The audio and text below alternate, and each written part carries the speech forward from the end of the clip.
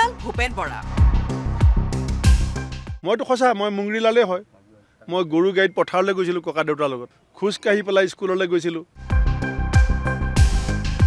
মুংগিৰিলাল ভূপেন বৰাই দেখিছে হাচিন সপনা মানুহক এতিয়া মুখ্যমন্ত্ৰী বুলি কৈ আছে। চাৰি মাহৰ পাছত সেইজনক প্ৰাক্তন মুখ্যমন্ত্ৰী বুলি ক'ব লাগিব।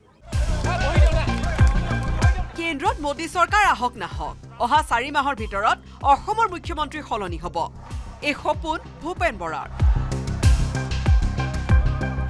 যিজন মানুহক এতিয়া মুখ্যমন্ত্ৰী বুলি কৈ আছে চাৰি মাহৰ পাছত সেইজনক প্ৰাক্তন মুখ্যমন্ত্ৰী বুলি ক'ব লাগিব। মই আপোনালোকক লিখি দিম কাগজ দিলে। চাৰি মাহৰ ভিতৰত অসমৰ মুখ্যমন্ত্ৰী বদলি হ'ব। বিগত কিছুদিন ধৰি ভূপেন বৰাই বহুতো সপোন ৰাজহুৱাকৈ ব্যক্ত কৰি আহিছে। ভূপেন বৰাই দাবী কৰিছিল ছাব্বিছত তেওঁৰ ঠিকনা হ'ব Janata Bhawan. Hundred percent. Hundred percent Janata ভৱনত গৈ আছোঁ। হাণ্ড্ৰেড পাৰ্চেণ্ট জনতা ভৱনত কংগ্ৰেছ গৈ আছে।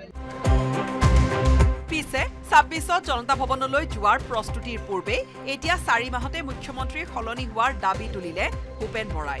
ইফালে ছাব্বিছত মুখ্যমন্ত্ৰী হলেও ভূপেন বৰা বিজেপিৰ পৰাহে মুখ্যমন্ত্ৰী হ'ব পাৰিব বুলি ৰসিকতা কৰিছিল মুখ্যমন্ত্ৰী ডক্টৰ হিমন্ত বিশ্ব শৰ্মাই।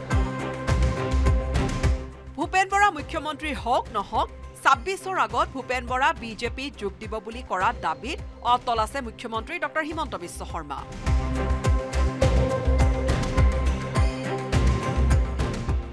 মই মই তেওঁক ক'ত টাৰ্গেট কৰিলোঁ? মইতো তেওঁক চি এম বনা ৰাস্তা দেখুৱাই আছোঁ।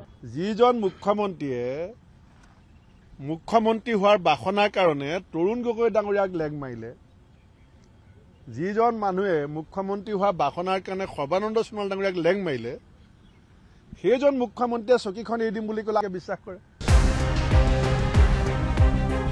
চাৰি মাহত মুখ্যমন্ত্ৰী সলনি হ'ব বুলি ভূপেন বৰাই কোৱা মন্তব্য শুনি মুখ্যমন্ত্ৰীয়ে মিচিকিয়াই ক'লে।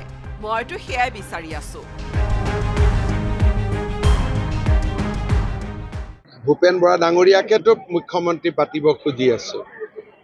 মোৰতো চেষ্টাই সেইটো চলি আছে। যিজন মানুহক এতিয়া মুখ্যমন্ত্ৰী বুলি কৈ আছে চাৰি মাহৰ পাছত সেইজনক প্ৰাক্তন মুখ্যমন্ত্ৰী বুলি ক'ব লাগিব। মই আপোনালোকক লিখি দিম কাগজ দিলে। চাৰি মাহৰ ভিতৰত অসমৰ মুখ্যমন্ত্ৰী বদলি হ'ব।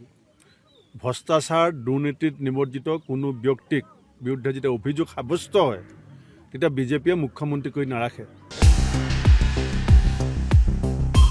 Report news eighteen Assam north east